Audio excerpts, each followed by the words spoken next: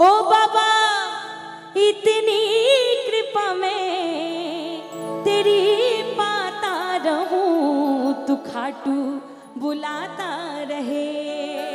ओ, तू खाटू बुलाता रहे और मैं आता रहूँ। कौन कौन अर्जी लगाएँगे? एक बार उठाइए पूरे पूरे हाथ, सीधे सीधे हाथ। और ऐसी तालियाँ बजाना कि बाबा आपको जल्द से जल्द खाटू बुला ले। मिलके एक साथ, एक दो तीन चार।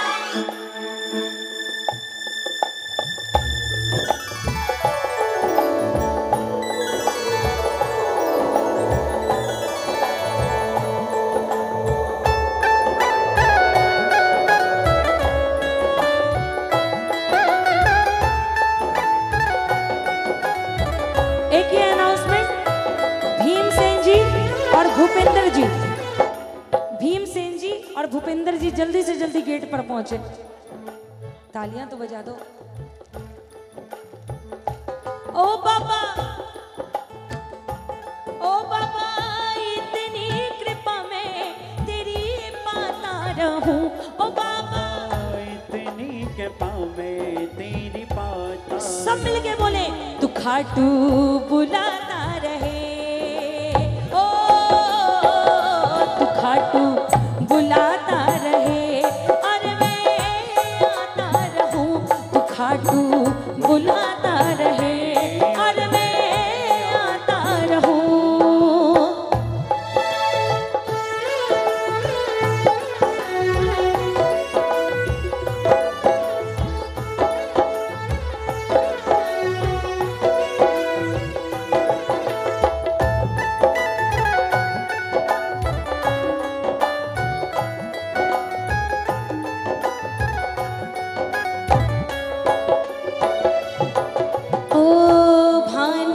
लगी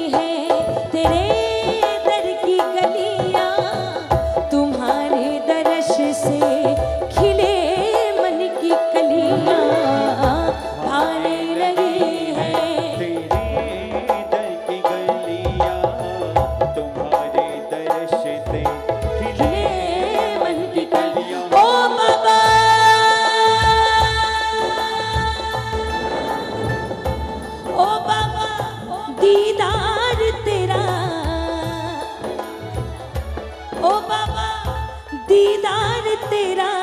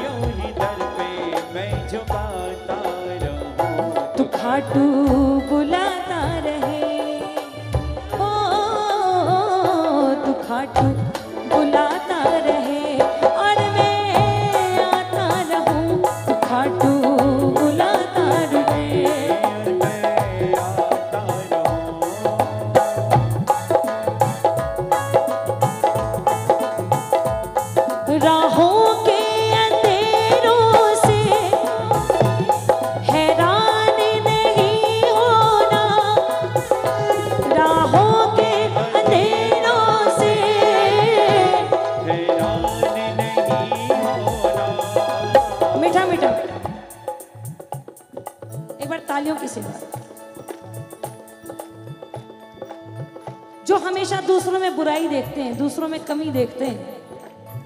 और जिनके जिनके ऊपर ये कमी का ठप्पा लगता है, जिनमें कमियाँ निकाली जाती हैं, उनके लिए ये दो लाइनें और लास्ट की जो तीसरी लाइन है, वो उनके लिए जो दूसरों में कमियाँ निकालते हैं, सुनना।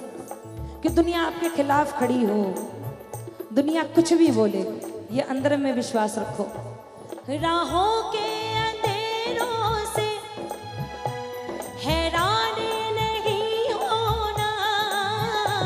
राहों अंधेरों से हैरान नहीं होना। मेरे साथ है सांवरिया, परेशान नहीं होना।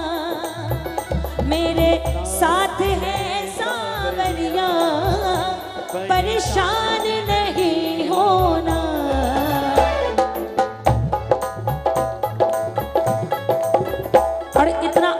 विश्वास करना बाबा पे।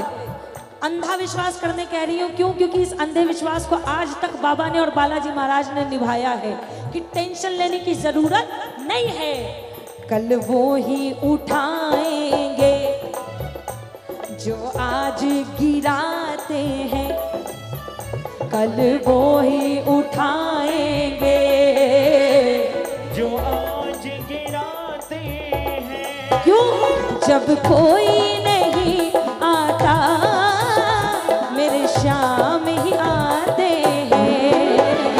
रोती हुई आँखों को। मेरे शाम पाँच मिनट अपने हिसाब से। रोती हुई आँखों को मेरे शाम हंसाते हैं। जब कोई नहीं आता मेरे शाम ही। किसके किसके लिए आया है? देखो बुरा समय आए तो दुनिया तो ऐसे ही आपके खिलाफ खड़ी होती है। और अच्छा समय आ जाए तब भी लोग आपके खिलाफ हो जाते हैं। क्यों? क्योंकि लोगों को सिर्फ़ आपकी कामयाबी दिखती है, आपका स्ट्रगल नहीं दिखता। लोगों को हमेशा ये लगता है कि अरे, इन्होंने तो जितना पाया है, वो बस इनको अचानक से मिल गया। अच्छा मुझे दूसरों का नहीं पता, मैं अपनी बात करती हूँ। आज अगर ये मिला है ना आज अगर यहाँ पर है तो इसके पीछे 27 साल है भैया। 27 साल, पाँच साल की थी तब से। हालाँकि लड़कियों को अपनी उम्र नहीं बतानी चाहिए, लेकिन फिर भी कैलकुलेट करने वाले कर लेंगे। 27 साल बीत गए। 27 साल पहले से गा रही हूँ। 27 साल पहले से इस दरबार में हाजिरी लगा रही हूँ। जिस उम्र में बच्चे गेम जोन में जाके गेम्स खेलते थे, पार्लर में जाके, पार्क में जाके घूमते थे, फिरते थे, मौज मस्ती करते थे, उस समय हम लोग इस दरबार में हाजिरी लगाते थे। अपना बचपन दे दिया, अपना जीवन दे दिया, अपना 27 साल दे दिया। अगर अब ये मुझे नहीं देगा तो कब देगा? अरे इतने में तो आपके यहाँ पे कोई नौकर होगा तो भी आपका दिल पसीज जाएगा। इतने दिनों के बाद तो किसी इंसान का दिल पसीज जाए, ये तो दुनिया का सबसे बड़ा दयालु देव है। इनका दिल नहीं पसीजेगा। और अगर हम किसी और के ऊपर, किसी और के ऊपर हुई भी उस कृपा के ऊपर उंगली उठाते हैं तो ये उंगली हम उस व्यक्ति के ऊपर नहीं, बाबा श्याम की कृपा के ऊपर, बालाजी महाराज की कृपा के ऊपर उठा रहे हैं। क्यों?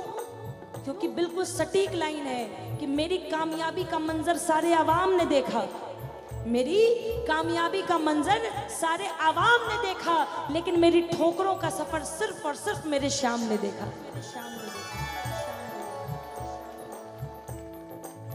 अरे कम से कम इतनी कृपा है कि भीख नहीं मांग रहे, अपनी मेहनत की कमाई कर रहे हैं भाई।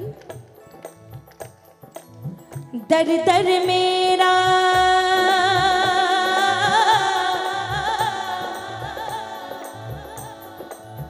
दर दर मेरा सर ये झुके ना। सोच के दर तेरे आता हूँ। दर दर मेरा सर ये झुके ना। सोच के दर तेरे आता हूँ। तेरे जैसा मालिक पाकर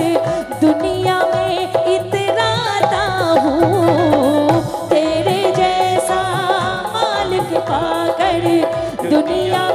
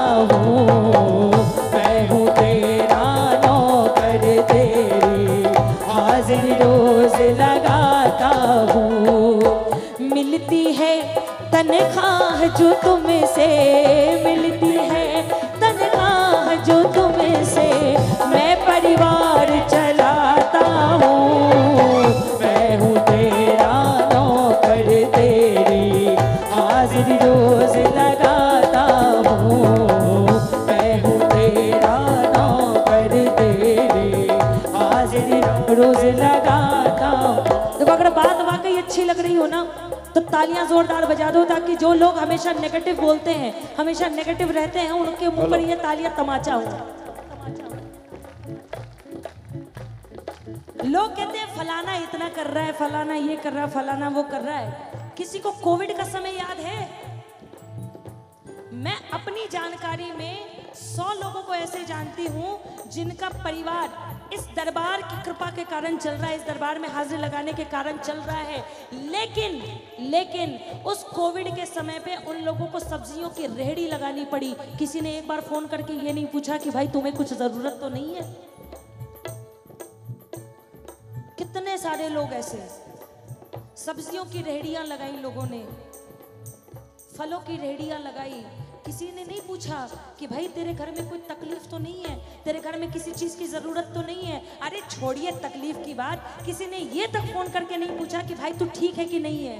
उन लोगों को आज के जमाने में, अब जब बाबा की कृपा सब पर हो गई है तो उस कृपा पर उंगली उठाने का हक नहीं है। तो जब तुम मेरे दुख में नहीं, तब तुम मेरे सुख में कैसे? जो मेरे दुख में नहीं, वो मेरे सुख में कैसे? संभव है क्या?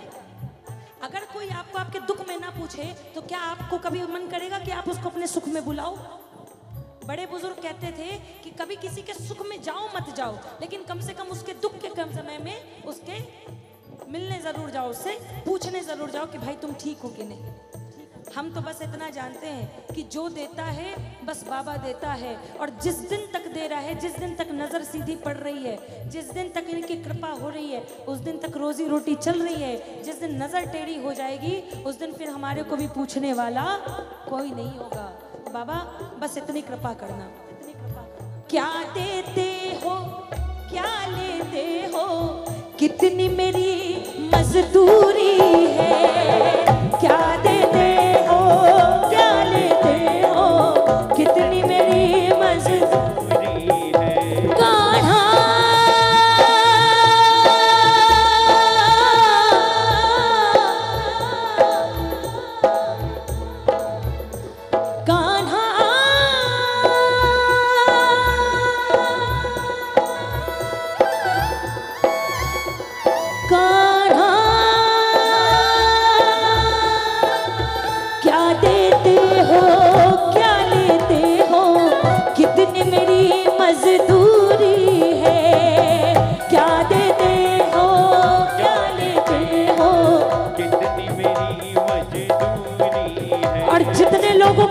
की जानने की इच्छा है, वो अभी भी संभल जाओ।